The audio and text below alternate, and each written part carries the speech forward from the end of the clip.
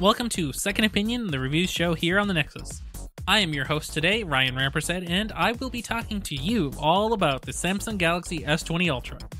Find the show notes for this episode at thenexus.tv slash SO86.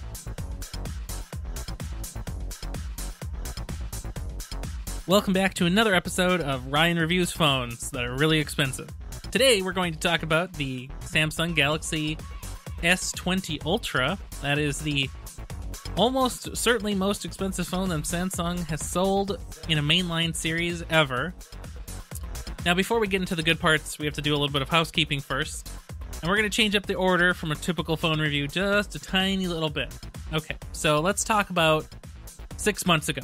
Six months ago, I reviewed the Note 10 Plus, and I had been using it. I almost never use the stylus, as I always say, but then always regret not having. Take a listen to that episode because a lot of the concepts that I talk about there in that episode apply here.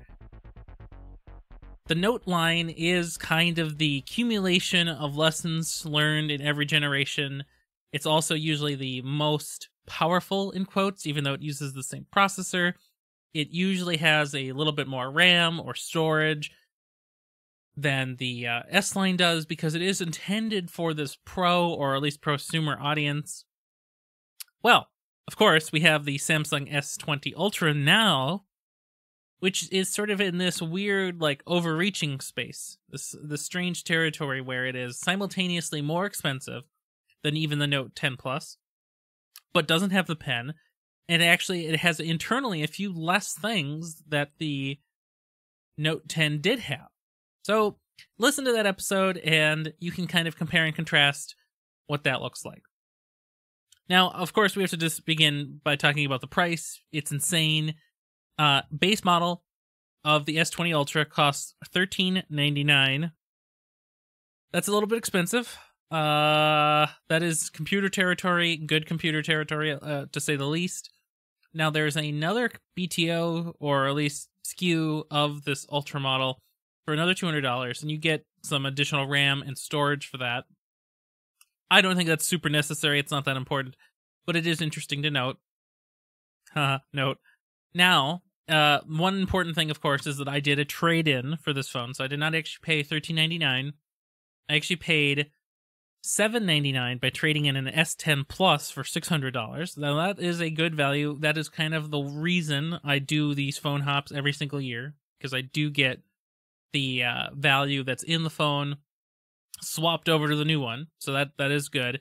So somehow uh, after all of the fees and taxes and so forth, I paid about 850 and that is kind of the cost of a flagship phone uh, at, at its high point that I think should exist. But I had to have had another phone beforehand to do that trade in. So people will always say that the Ultra is really expensive. It is.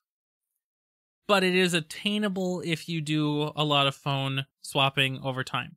Now, of course, you could not swap swap in, you could not trade in uh, an S9 Plus or an S8 Plus for the same $600 trade-in value, you couldn't do it. So it does leave you to wonder who's really buying this phone and why.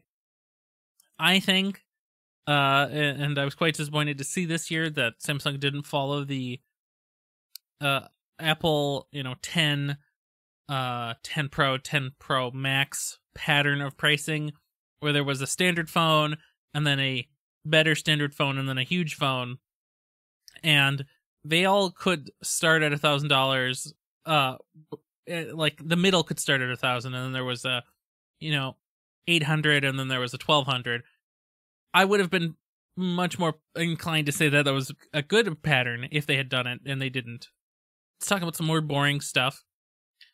For the full, list of specs for the S20 Ultra, I have linked various uh, spec sheets uh, so you can just go and compare there. But I will call out that it is super duper heavy. This phone is heavier than any other phone that I've had for the past few generations. And it's not just because it's bigger physically, it's uh, microscopically bigger than the Note 10 Plus that I previously was using, but because it is more glass and the modem is presumably bigger and heavier, and there's more battery.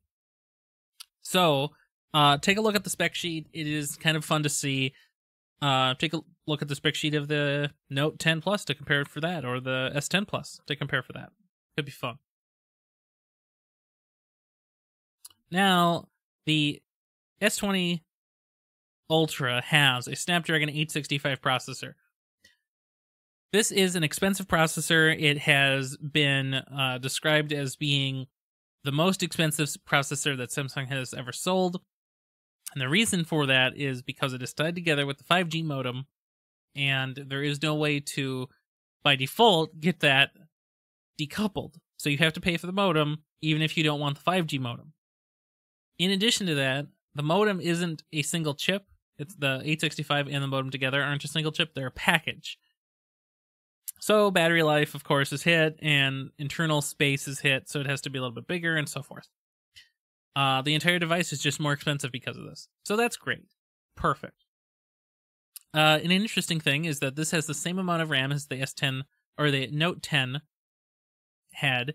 The S10 had 8 gigs, Note 10 had 12, and this also has 12. For for the most part, I think that's okay. I I kind of wish that it had some just a higher amount, uh, but that may mean that the Note 20 plus, if that's what they call it, will have 16 by default. I guess we just have to see. Now, as an alternative, you can pay the extra $200 and you can get 16 gigs total, so an extra four uh, for RAM you're never going to know that this RAM is meaningful or a problem to you. It doesn't matter. One interesting software and like userland feature of having all this RAM, though, of course, is you can now pin apps in memory indefinitely. So after their first load, they'll hang out in RAM and not get uh, deprioritized by other usage. Uh, in practice, I, I won't do that. Now here's here's my spec my spec bummer, and I'll I'll tell you here. So the Note 10 Plus had 256 gig base model. This S20 Ultra only has 128 gig base model. Um, I think that's a shame. I think it should have been spec higher by default. Uh, if you're going to be paying more than a thousand dollars, you should be getting a 256 gig. The higher end $200 plus model has 512 gigs base storage, but I don't want to really pay that for this if you're paying thirteen ninety nine, I should just be getting five twelve. I think the Ultra here, the value isn't matching the price, and the, the the the extra value needed to get to where the value should have been is sort of the the the, the part that kind of sours everything up here. So yeah, I, I guess it's it's interesting and kind of a shame that the storage didn't match the Note, and that's kind of how I always see the progression. So the the Note expands to the new normal of the next generation of the S line. And it didn't quite do that here, and I think it's a regression, and I hope they reconcile that with the Note line coming later this year. If it does, we'll see. Okay, so now it's time to talk about fun stuff. We're done with specs. We don't have to talk about those ever again. We're just going to breeze through this list because it's a phone, and you know all about phones. Don't worry about it. The screen is gigantic at 6.9 inches diagonal, but here's how that works. The aspect ratio is slightly different this time. It is 20 by 9 now. So it's really tall, but the Note 10 Plus was almost also as tall, just a uh, slight hair shorter, but the Note 10 Plus was a tiny bit wider and it in in in fact was almost too wide for me. The width of this phone of the S20 Ultra is perfect. It is wide, but not. It is just a little bit less wide than would be uncomfortable. So it's in a perfect spot for me. Uh, so the screen, it's beautiful, it's big. Let's talk about some of the special screen features, of course, though, right? It is using Samsung's 2020 screen process. It is a gorgeous screen. Very clear, very simple. Uh, all of our favorite display features are still around, such as the built-in fingerprint scanner, such as um, ambient display. Um, just just great. In addition, of course, it has new features such as 120 hertz refresh rate and 240 hertz input rate. Now, let's talk about the input rate first. I have no idea if it is meaningful whatsoever. It could be cool. It could be more useful on the note if you're using the pen. Now let's talk about the 120 hertz refresh rate. Yeah, could be cool. No way to know. Uh, out of the box, for some reason, the phone comes with 1080p and 60 hertz refresh rate. You can customize to that either, and it's an exclusive or either to 1440p at 60 or you can customize that to 1080p at 120 hertz refresh rate, but not both at the same time yet, at least. Uh, we can talk about battery life in this regard a little bit later, but suffice it to say, when you're at the store and you're looking at the phone and you bring your um really slow Moto G phone right next to it and you swipe across your Facebook feed, yeah, you might notice, but once you use it daily, like my I cannot tell. Like I I, I use other phones day to day for work and stuff, and I I cannot tell. I have no idea. Um, I can't even tell the difference between 1440p and 1080p. Like uh, I'm blind, I guess. I I have no way to tell. So if you're buying this phone to have a revolutionary leap in screen resolution or quality, you're not you're not going to see it in my opinion unless you're one of those people who can. If you don't know that you can see it, don't come here looking for it because you probably won't. If you haven't seen it in another device already, you might not see it here. Um let's talk about the physicals of the phone. So, it's a little bit smaller than the Note 10 Plus, which is nice. It is quite a bit heavier. It's probably the heaviest phone that I've ever had. And that of course is because of its additional glass its uh, additional battery and probably the modem because it's two pieces instead of one it all adds up to being a tiny little bit heavier check the uh, spec sheets for more. Now the battery is at 5000 milliamp hours which is a lovely number. Uh, i believe that is up from 4500 in the note 10 plus. The note 10 was giving me wonderful battery life every single day. I was getting through the day and i had between well like the the high 40s to mid 30s and I was never strapped for battery. And I knew if I was I could put it on either a wireless charger or even a slow charger and it would get back up to above 50 or 60 within, you know, 20 to 30 minutes and I would be totally fine. I have never been constrained by the 4500 milliamp hour battery of the Note 10 Plus. In this phone, despite having 5G uh, and despite having a bigger screen, day over day when you're going through regular out of home office work i was probably getting somewhere around the same um it was probably low 40s to low 30s and i think that's okay um having switched over to a more uh, at home centric working pattern where i'm always in wi-fi range and never on 5g for the most part i'm now getting about uh 70% at work end and down to maybe like 50% at the end of the day. And I think that's fine. Uh last night I believe I went went to sleep with uh 60%. So it is totally fine. If you end up not using the phone um on 5G or with the new modem at all, you're you're never going to notice allegedly this is 45 watt compatible uh super fast charging again just like the note 10 plus was but it doesn't matter because it's not included in the box and so who cares i still charge with my hp touchpad's power brick every night because i think it's hilarious and it still charges just fine um ports are all the same of course uh the uh s10 loses one port i guess if you consider that from the S10 Plus perspective, it loses the headphone jack. The buttons, I always thought the Note 10 Plus buttons were perfect where they were. They had moved those buttons to the left hand side. And of course, you know, they, they called out the dedicated Bixby button for the Note 10 Plus generation.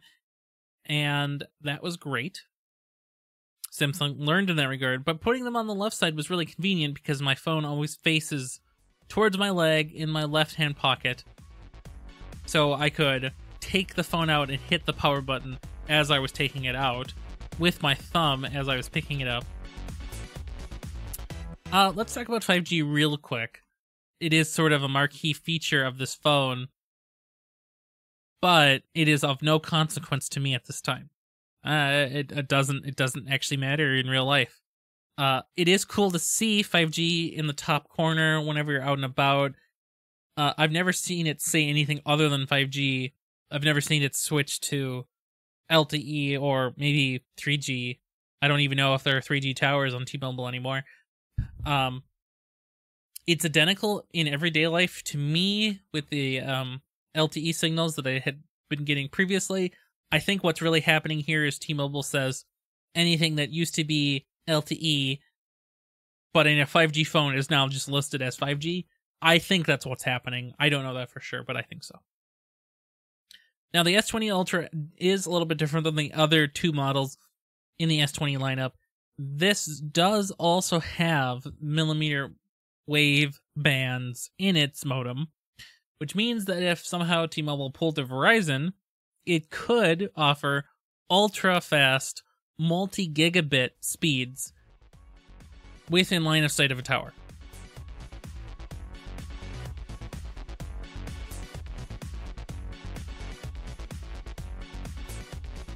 Okay, now this is the moment you've all been waiting for. This is camera time. How many cameras does this phone have again? Well, if you do the math and you count everything that could be a camera and that looks like a camera in some form or another, there's five. So there's the front camera, there are the three back cameras that are actually cameras, and then there's also the time of flight depth sensor, but if you only count back cameras that are really cameras that take pictures, there's only three cameras on the back. So everybody was freaking out when the phone was released about how many cameras it, it would have or does have. Um, let's just go with there's three. So you've got it's just it's just an obscene amount of cameras really, and it, it, we'll talk about why it's really confusing. But you've got the 108 megapixel camera, You've got the periscope zoom 48 megapixel camera, and you've got the 12 megapixel wide angle. Okay, so now with all of that said, how is it? Well, it's remarkably average. If anything, coming from the S10 Plus or the Note 10 Plus, it is a side grade, if anything at all. And initial impressions have said to me that it is often a slight downgrade in many situations in which I was able to take pictures just fine before. So, my initial impressions have been that any subject movement, for example, a cute dog, uh, would cause blur. And that is a problem because dogs do move and blur is bad. Now, the Note 10 Plus was not perfect in any regard in taking pictures, but it always looked pretty good. And if the subject was fairly steady, with minor movement, it would be okay. Obviously, a stationary subject is always going to take a better picture with a camera like this. In pro mode, it is often just just just capable to set your your shutter speed and your ISO and you know whatever else is available in such a way that you can get a good shot. But in auto mode, I feel like the Note 10 Plus was taking some better pictures more of the time. Yeah, there are other problems too. So the depth of field of the primary 108 megapixel camera, that has a serious issue. It has a so shallow depth of field that if you're taking a picture of words on a printed sheet of paper, like an eight and a half by eleven sheet of paper, and you sort of focus on the middle of the page, the words towards the top and the words towards the bottom will be just ever so slightly gone from focus. Which is sort of a departure from other camera phones, phone cameras. I don't know uh, that I've used in the past because those have a depth of field that is practical. so you know, it could be sort of an expectation thing, but it is. It certainly has been an adjustment to make.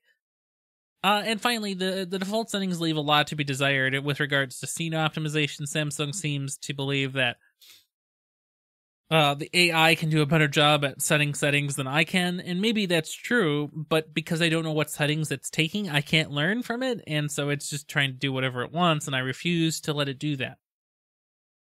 Uh, I guess there could be a fourth bullet point here, and I could say that, um, by having JPEG be the default and not letting me set what default JPEG quality that is, kind of limits what the quality ends up being you can go to that other uh, high efficiency format, but I, I chose not to for the most part because there are no devices in the world other than phones that can read those formats. Windows can't, and I don't think Mac OS can. Now, you can set a pro mode option where it will give you the RAWs for pro shots, which I do turn on and use. Okay, so that's that's those are the initial impressions. Now, what about real life usage? Let's talk about special modes, such as the 100, the 100x zoom. 100x zoom. Can you believe it? So, how is that accomplished? Well, first of all, that is accomplished with the revolutionary approach of combining digital zoom with optical zoom. Wow. Uh, allegedly, it's actually kind of cool. So, in the show notes, I have provided to you a Google Photos album of a photo that I took at the local Menards which is a lovely hardware store right down the street. So in the first photo, you can take a look at um, some some signs for pricing. You can see that there's some pricing about like uh 779, 639. Uh it's just some price signs. Now in the second photo, you can see what the unzoomed version of the same position was. So with with and I and I don't know for sure which zoom level I took this at. Uh, maybe maybe info can tell me. It it it it says um 19 millimeter, so there might be a way for some uh, some some expert to figure out what the zoom level on that was, but I don't know. Uh, but it it is pretty close to fantastic at actually doing zooms.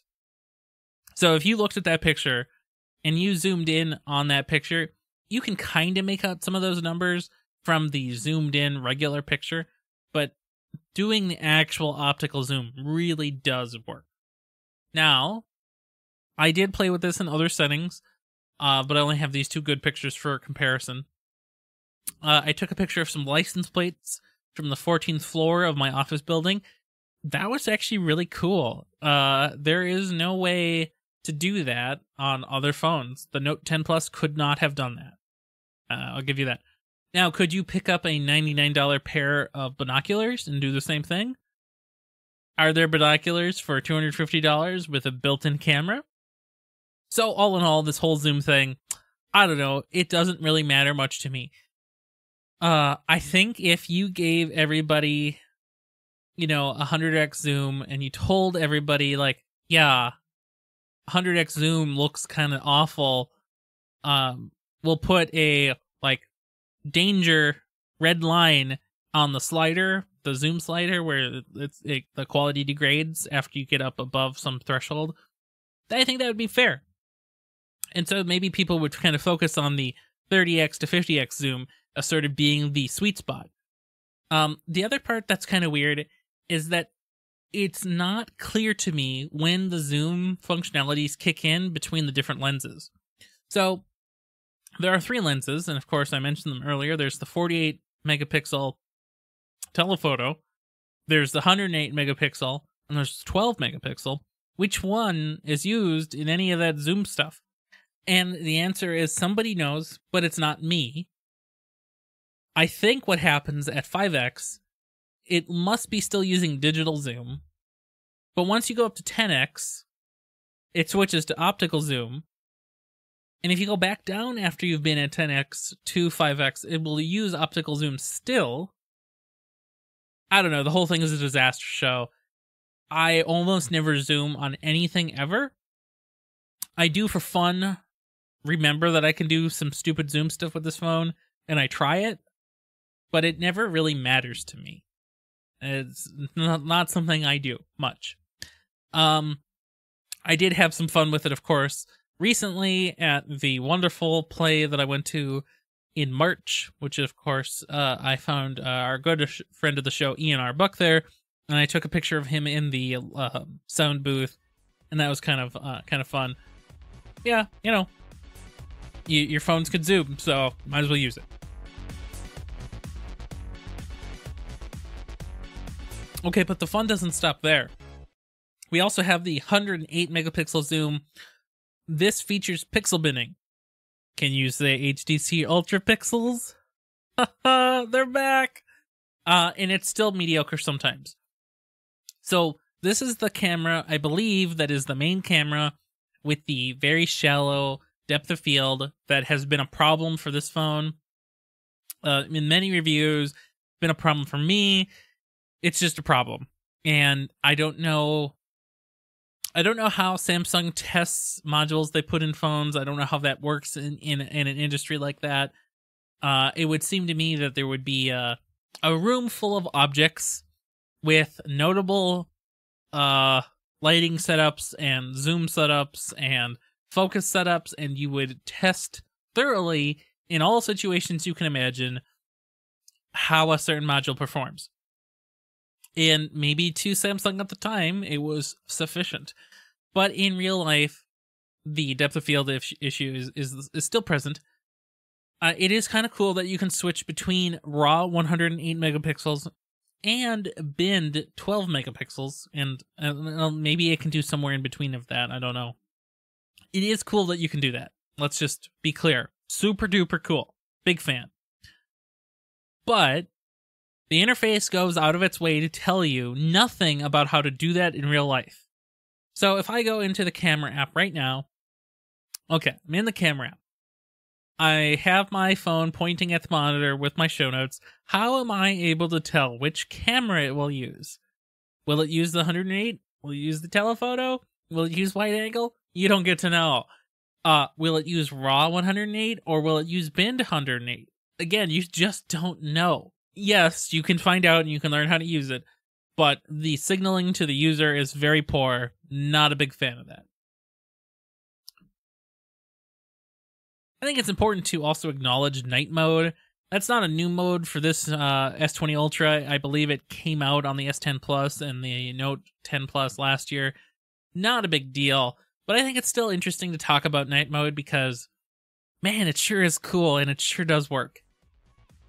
Okay, and finally, we have to talk about the 40 megapixel selfie camera. I guess it's cool. Anyway, the verdict about the camera. The verdict about the camera is do not buy this phone for the cameras. I I don't understand how to use them. They don't understand how to be used. The predictability with the focal length and what was recently fixed by an update but is still sometimes a problem the focus hunting, which is probably caused by the shallow depth of field issue, I would say don't buy the phone for the camera. The S10 Plus and the Note 10 Plus had better cameras in some ways. And here's my explanation for that. And here's what I've read. The S10 and Note 10 lines had shared cameras between the two. So they might have been slightly tweaked and so on and so forth, but the software and the camera modules were shared for the most part between the two. And the module line, which I think it was a Sony IMX sensor, had been used for a number of years and in other devices.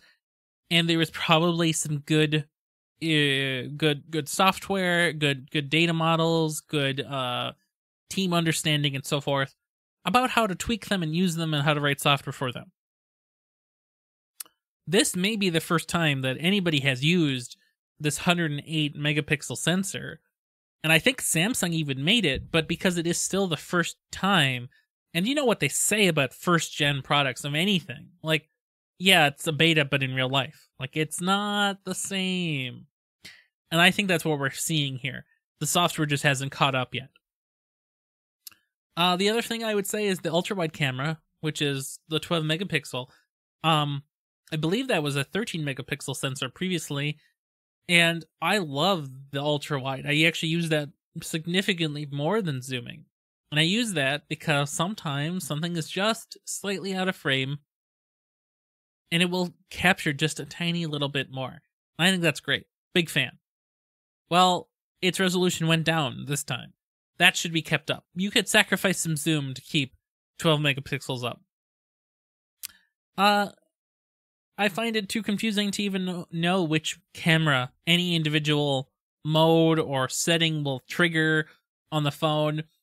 If you're going to have more than two cameras and the mode division isn't totally obvious to the user, especially to a regular user, I think that's bad. And then finally, the way that the physical camera bump on the phone is is obnoxious. It is just a little bit too low for me to use um because it the camera bump physically protrudes to where my finger would be in a natural holding position, so I'm always hitting the camera glass. Imagine that back in the good old days of the S8 camera and fingerprint sensor alignment. Uh, but then the other problem is because of all of those cameras and extra glass up on top, the phone is top heavy. So I used to be able to balance the phone sort of by putting my fingers midway up the phone to kind of balance it in my hand. But the glass is there, so I have to go even higher, pushing me further onto the glass. It's a ergonomic disaster. I think we should talk about software for just a brief moment. We'll get Android 11 on this phone, the Galaxy S20 Ultra, for $13.99. We'll get Android 11 sometime next February in February of 2021. We will. Like, there is no doubt. It's kind of Samsung's fault, and it's also kind of Google's fault. Google releases a stable build of Android very late into the summer, usually.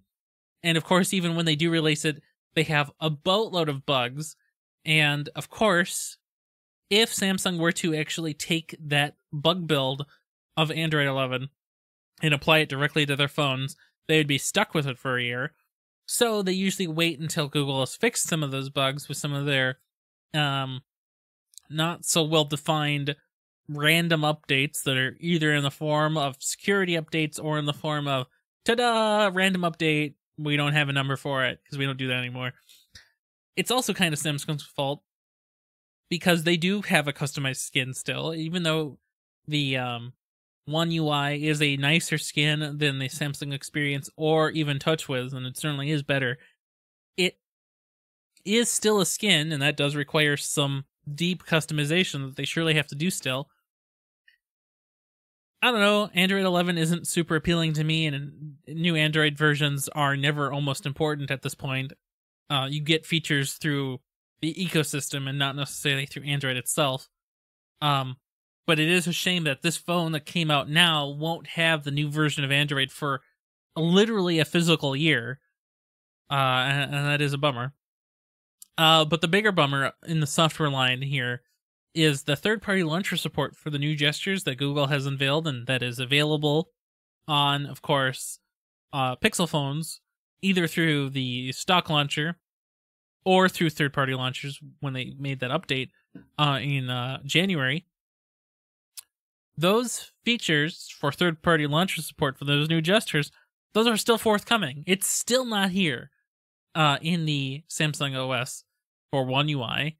And allegedly it's coming in One UI 2.5, which would coincide with, of course, the Note 10 launch. I mean, the Note 20 launch, if that exists. But this year's been a little bit weird already, so who knows if they're just going to say, nah, we'll skip a year. I, I don't know. We'll see. Uh, you know, updates are a funny thing with these Samsung phones. Of course, I bought, and I always buy an unlocked phone. The unlocked phone, of course, I always buy an unlocked phone when I buy these Samsung phones. And of course, the unlocked phones, they only get updates after all the US carriers have also gotten their updates for the device.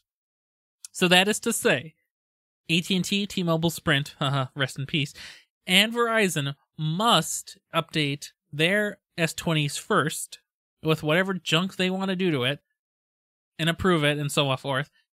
They must do that first, and then the unlocked versions can do it instead. Well, it's great. So that means anytime there's an update and we have to wait an extra two to three weeks, if that, to get the update. Now, uh, a camera update came to me about three weeks into ownership of this phone. Uh, it fixed the um, focus hunting of the main camera, which was some somehow an improvement. Uh, it doesn't necessarily fix the depth field, but it does help a little bit, I suppose. I think there's a lot of room here for improvements on the camera front. Um, with regards to somehow mitigating the depth of field issue and improving focus hunting. Um, and also just making which cameras being used clearer because I still still don't understand.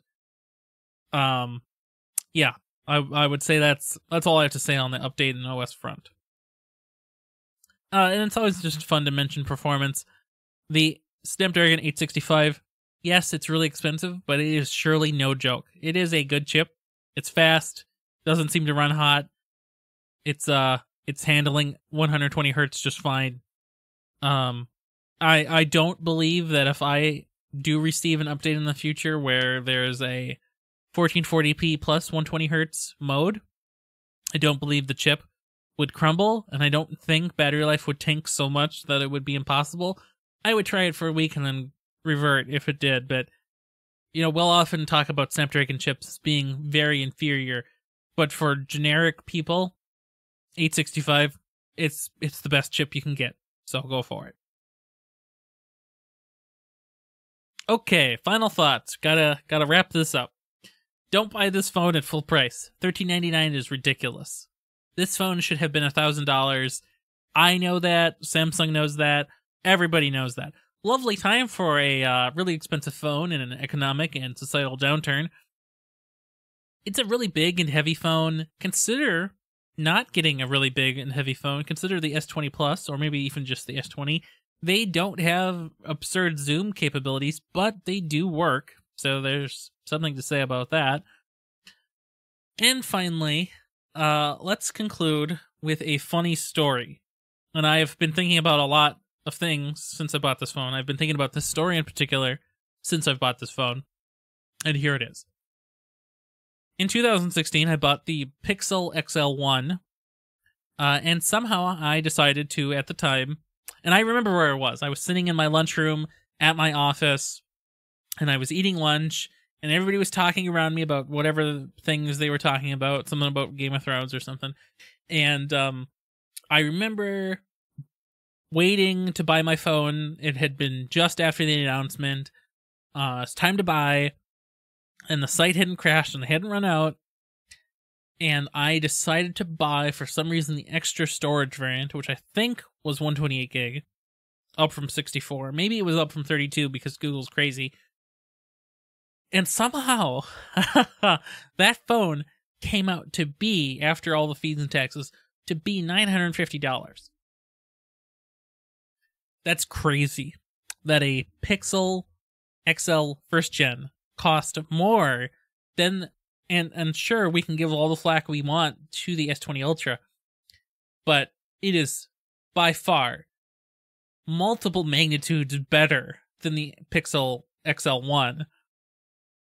Even if you don't like things bigger, or even if you don't like the camera, or even if you don't like something about how Samsung does their software, it is in every way a better phone if you were to have paid $950 for it. Um, and of course, with the trade in, that is still cheaper. My $850 payout to Samsung for this phone. That is an appropriate value. In a hypothetical world where my S20 Ultra cost $1,000, and if they let me buy it for 850 because I traded in my S10 Plus, that's only like roughly $150 off. That would have been okay. These phones should not have been so expensive. Every phone in the line should have been subtracted by $300. Like that's that's the story. That's that's what should have happened. And you contrast that with the Pixel XL back in the day, 4 years ago. Well, I guess that's where we land. Four years is a long time, but it doesn't feel that long. So, what are we looking forward to next? Well, the Note 10 Plus came out last August, so we might assume that the Note 20 Plus will come out this August. Um, we'll see if the world is put back together by then, and if it is, well, we'll take a look at it. If the Note 10 Plus is dramatically more expensive than $13.99, I will very, very strongly consider not buying it. That's pretty much the review for the Samsung Galaxy S20 Ultra. Uh, thank you for listening. It's always fun to talk to you about phones. Uh, where can you find me on the internet? Well, you can find me just about everywhere, but especially on Twitter at Ryan Amar, and of course on my website at ryanrampersad.com. Uh, you can visit our subreddit at reddit.com slash r slash the nexus tv and you can chat with me about this phone and ask me all the questions that you have ever wanted to ask about an expensive phone. And of course you can follow us on patreon and even support us on patreon at patreon.com slash the nexus tv have a good one